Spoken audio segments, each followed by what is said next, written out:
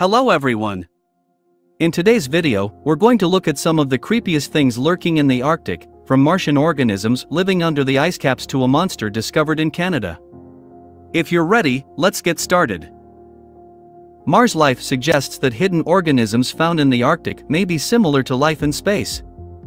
Microbes discovered near the North Pole in Canada, buried as surface sediment near a place called Lost Hammer Spring, could provide a blueprint for life forms that could exist on Mars. This is because the permafrost in Canada's high glacial regions is extremely cold and often oxygen-free. It shows that the environment that can be found on Mars is almost identical. McGill University had never before seen microbes, using the latest and most living in an environment just like the life on Mars survive. These microbes are tiny, but they feed on simple inorganic compounds, the same inorganic compound found on Mars, such as sulfur, sulfur even. The big is showing that these sediment samples are being used by the European Space Agency for testing purpose in the next Mars mission to detectable life. Basically, evidence of alien is found just below the North Pole, or at least the feasibility thing. It has given scientists a lot of confidence there really are life forms in Mars Sponge gardens were rediscovered by scientists, a surprisingly vibrant ecosystem growing at ocean near the North Pole. Its rich and densely populated ecosystem consisted of huge gardens discovered near the summit of long-extinct volcanoes. According to the researchers, the sponges found here are the features that apparently be found all the way to the north. The researchers discovered these fascinating animals by lowering a camera under the ice and then taking photos of what was hiding at the bottom of the sea. The photos revealed sponge gardens and they even managed to collect some samples. What they found really shocking after analyzing the samples was that most of these living sponges were 300 years old or older. Scientists were surprised to find so much life because the environment didn't seem to be exactly suitable for producing such large life forms. Very little light now penetrates the surface of the ice, there is almost no food, and scientists couldn't even figure out what the sponges were eating.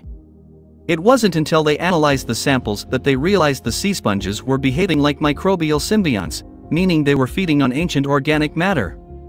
In simpler terms, these sponges are feeding on the remains of animals that died thousands of years ago. These things are similar to fossil eaters, which survive by eating the slow-moving remains of creatures that went extinct thousands of years ago. The record-breaking dive is worth noting that on August 3, 1958, a United States submarine became the first ship to reach the North Pole by traveling under the ice, which was also the first nuclear submarine ever built. The commander of the U.S. BILS, William Anderson, wrote in his logbook, Santa Claus, this personage boarded the ship at the North Pole. While this may seem strange, the commander was simply celebrating his success in a cryptic entry in his book because, believe it or not, the first sub-ice mission to the North Pole was top secret. Operation Codenamed Sunshine was a highly classified operation. Yes, it was a big deal for my world, but given the Cold War in the 1950s, it was a bigger deal for American pride.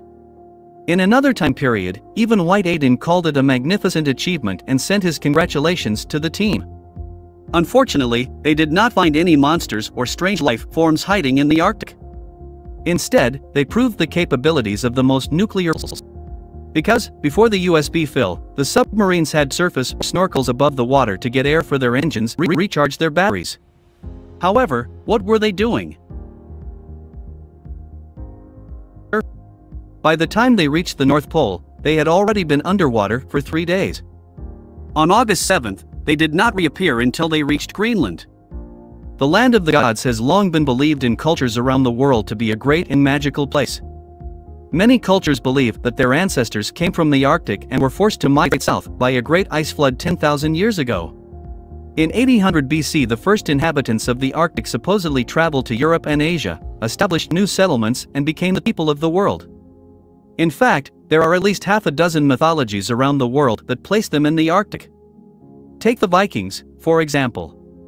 According to Norse mythology, the land of immortality is at the North Pole. Celtic myths describe paradise as a place where the sun shines continuously for six months. That sounds a bit like the North Pole. The Greeks even called the North Pole Hyperborea, meaning above the north wind, and said it was a place where the sun shone 24 hours a day. The airship Italy was an airship of the Italian Air Force. Airships were extremely popular in the 1920s. Since crossing places like the North Pole by boat was a nightmare, scientists thought it would be easier to visit the North Pole in a giant balloon. This half-rained airship was designed and piloted by Italian engineer Umberto Nobile. The North Pole expedition began on April 15, 1928. The airship left Milan with 20 people and 7,711 kilos of equipment. It took 30 hours to reach Germany and after a short rest they continued to Norway. When they reached the North Pole, they hit an ice sheet. One person was killed instantly on impact, another was killed by weather conditions while waiting to be rescued, and six crew members disappeared, never to be seen again, trapped in the canopy of the balloon as it flew away. In July of the same year, there was a rescue operation in which 17 people died, including members of the rescue team. Italy was a major disaster and the remains of the airship are still waiting to be found somewhere in the Arctic. Now, lightning storms in the Arctic are not exactly common. In fact, one of the last things scientists expect to see in the Arctic is a bolt of lightning from the sky. This is because lightning is a phenomenon that occurs during warm weather. In the middle of summer you can expect a big thunderstorm, but in the cold wastelands of the Arctic it doesn't happen. At least it has never happened before. For almost 20 years, every lightning strike that occurs has been monitored in real time by a private organization called the World. These scientists use a global sensor system to collect information about things like the frequency and distribution of lightning strikes. Data collected over the last 17 years shows a very impressive increase in lightning strikes around the Arctic. In fact, anywhere above 65 degrees in the Arctic region, there have been dramatic changes. Between Robert Hells, the chief executive of this organization, and 2022, lightning strikes on glaciers tripled. Lightning was actually detected very close to the North Pole in 2019. This was an incredibly rare event and we may see more as climates continue to change and glaciers continue to warm. Canadian Monster, a graduate student from the University of Manitoba has scientifically discovered a real monster under Canada's Arctic sea ice. Near the North Pole, a monster with eight hairy legs, a translucent body, eyes, two antennae and no mouth was found. It may sound scary, because this thing is scary. The only good news is that the monster is only 2 millimeters long. If you want to get a closer look at this thing, you will need a microscope. Orlik didn't go looking for this monster on purpose. He found it more by accident, while searching for biodiversity in the Arctic. In fact, this creature is a type of copepod, a simple organism from the Monstrilloida family. There are more than 160 different species of copepods in the world's oceans, but this is the only one that lives in the Canadian Arctic. Lightning storms are not exactly common in the Arctic anymore. In fact, one of the last things scientists expect to see in the Arctic is lightning flashing from the sky. This is because lightning is a phenomenon that occurs during warm weather.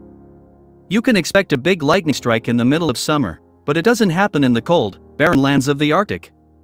At least it has never happened before. For almost 20 years, every lightning strike has been monitored in real time by a private organization called the World. These scientists use a global system of sensors to collect information on things like the frequency and distribution of lightning strikes. Data collected over the last 17 years shows a very impressive increase in lightning around the Arctic. In fact, dramatic changes are observed everywhere above 65 degrees in the Arctic region. Lightning strikes on glaciers tripled between Robert Hells, the chief executive of this organization, and 2022. Lightning was actually detected very close to the North Pole in 2019. This was an incredibly rare event, and we may see more as climates continue to change and glaciers continue to warm. The Canadian monster, a graduate student from Manitoba University, discovered a scientifically real monster under Canada's Arctic sea ice. Near the North Pole, a monster with eight hairy legs, a translucent body, eyes, two antennae and no mouth was found. It may sound scary because this thing is scary. The only good news is that the monster is only 2 millimeters long. If you want to take a closer look at this thing, you will need a microscope. Orlik didn't go looking for this monster on purpose. He found it more by accident while looking for biodiversity in the Arctic. In fact, this creature is a type of copepod, a simple organism from the Monstrilloida family. More than 160 different species of copepods are found in the world's oceans, but this is the only one that lives in the Canadian Arctic. Telephone was studying the classification of small ocean animals for his master's degree and was therefore already familiar with small sea creatures. Living in an ice camp not far from the North Pole, he was studying the ocean as part of his thesis on plankton blooms under the ice, and that's when he made his discovery. The phone was very lucky, and with this discovery he showed us that life exists almost everywhere on the planet. Strange blue lights were seen extremely strangely over the polar circle not far from the North Pole in 2019. According to NASA, the mysterious blue lights had nothing to do with aliens, though the lights certainly looked like some kind of strange alien phenomenon. The people who took the photos of the blue hazy orbs in the sky were photographers trying to catch a glimpse of the northern lights. About 15 of these blue orbs were found in two clear spots in the empty atmosphere. The photographer who captured the spectacular images, Chad Blakley, says he couldn't believe what he saw. He said the sight was literally out of this world. It may look like the bright blue stream from an alien ship, but NASA says it's actually related to a scientific experiment. The Andøya Space Center in Norway launched a pair of rockets that released metallic dust. The dust was released as part of a way for scientists to investigate conditions inside the Arctic lights. The metallic dust created an amazing light show, but it also helped researchers track charged particles in the ionosphere. This experiment was done purely so that scientists could learn as much as possible about the processes that occur at the Arctic peak, where magnetic field lines bend to propagate into the atmosphere and space particles meet the solar wind. The northernmost island has been discovered by scientists as the closest landmass to the North Pole.